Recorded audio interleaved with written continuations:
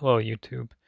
Uh, there's going to be less setup this time because we're on an important mission today, and that's that I am applying to become a try guy. It's come to my attention that Spot has opened up, and seeing as I don't really have anything else going for me right now, I figured I can kind of like leapfrog over the part of YouTube where you do all the work, and just uh, kind of parasitically attach myself and and kind of like in, in a similar manner to the way the rootkit works its way its way deep into your operating system, so it's impossible to remove without destroying the operate the entire operating system.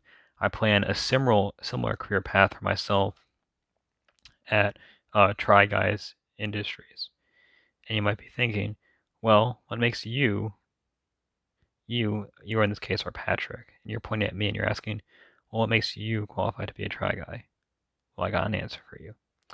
First of all, is I have this sick Patrick Star dummy, which I think could be utilized in a variety and multivariate uh, situations for multimedia, uh, AI, uh, uh AI enhanced, uh, machine learning integrated, and cloud service based multimedia experiences.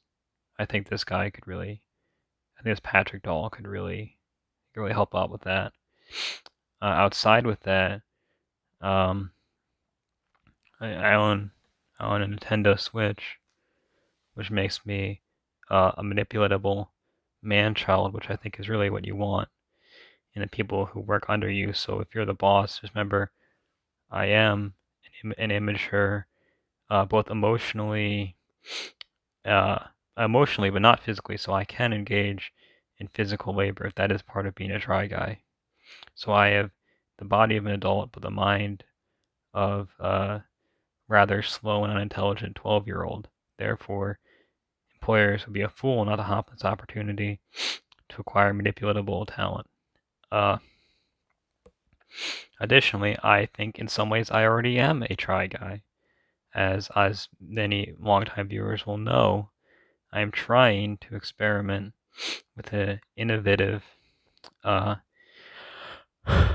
cloud service based uh, integrate uh, uh, interactive community driven uh, multimedia experience about the benefits and about the real world pros and cons of shaving your pubic hair as an adult male.